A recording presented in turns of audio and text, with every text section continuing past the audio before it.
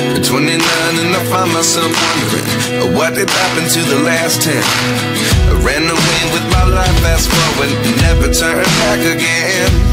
Quý vị và các bạn đang theo dõi kênh News 247. Bây giờ mời quý vị và các bạn cùng chuyển sang những nội dung đáng chú ý.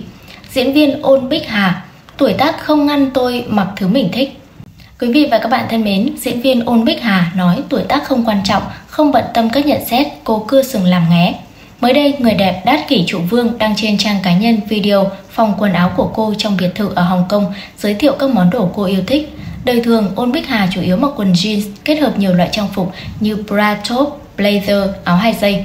Minh Tinh 58 tuổi mặc đồ của các nhà mốt xa xỉ như Dior, Celine, Oscar de la Renta, Armani lẫn thời trang bình dân như Zara.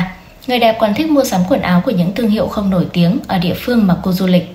Không ít người nói với Ôn Bích Hà, phụ nữ lớn tuổi nên mặc kín đáo, màu sắc nhã nhặn, phù hợp tuổi tác. Song diễn viên cho rằng tuổi tác không quan trọng và cũng không cần phải rào cản khiến cô phải cân nhắc việc phối đồ.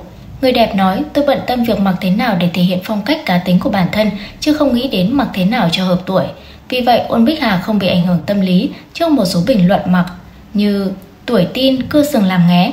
Năm ngoái, diễn viên ra mắt thương hiệu quần áo mà cô thành lập, tự làm mẫu cho các thiết kế. Ngoài mảng thời trang, Bích Hà hoạt động sôi nổi lĩnh vực phim ảnh. Những năm gần đây, cô đóng các phim điện ảnh như Đọa Lạc Hoa, Tuổi 18 của chúng ta, Thập niên 1990. Ôn Bích Hà là biểu tượng gợi cảm màn ảnh Hồng Kông, nổi tiếng qua Đát Kỷ Trụ Vương, Bông Hồng Lửa, Mối Hận Kim Bình, Biến Động Kinh Hồn. Cô kết hôn với doanh nhân Hà Tổ Quang được 21 năm, vợ chồng nhận một cậu bé mồ côi làm con nuôi. Diễn viên Hồng Kông Ôn Bích Hà nói luôn biết ơn vì chồng để cô tự do cho làm điều mình thích. Ôn Bích Hà biết ơn chồng, doanh nhân Hà Tổ Quang thấu hiểu ủng hộ cô 21 năm qua, cho cô tự do sống với đam mê, sở thích. Mới đây, vợ chồng không ở bên nhau dịp kỷ niệm ngày cưới mùng 1 tháng 10, song cả hai vẫn luôn nhớ về nhau. Diễn viên nói, hôn lễ là kỷ niệm hạnh phúc nhất cuộc đời tôi, chúng tôi đã đi qua nhiều thăng trầm, thế giới luôn thay đổi, tình yêu của tôi với anh ấy thì không. Hiện Ôn Bích Hà hoạt động sôi nổi mảng phim ảnh lẫn âm nhạc, chồng không bao giờ can thiệp chuyện cô đánh đóng cảnh yêu đương gợi cảm. Hồi tháng 9 năm ngoái, cô phát hành MV Chỉ vì quá yêu anh, diễn cảnh ôm hôn với người mẫu nam. Năm ngoái cô đóng các cảnh dường chiếu với cả bạn diễn nam và nữ trong phim Đọa Lạc Hoa.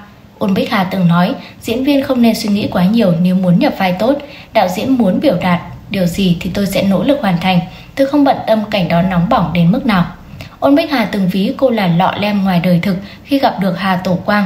Tôi và anh ấy như hai người ở thế giới khác nhau, từ nhỏ tôi sống trong nghèo túng, còn anh ấy xuất thân danh gia vọng tộc. Chúng tôi đến với nhau nhờ duyên phận, đôi vợ chồng không có con nhận một cậu bé mồ côi làm con nuôi. Những thông tin này đã khép lại bản tin hôm nay của chúng tôi. Quý vị đừng quên like, share và subscribe kênh News 247 để luôn được cập nhật những thông tin mới nhất. Còn bây giờ xin chào tạm biệt và hẹn gặp lại quý vị và các bạn trong những bản tin tiếp theo.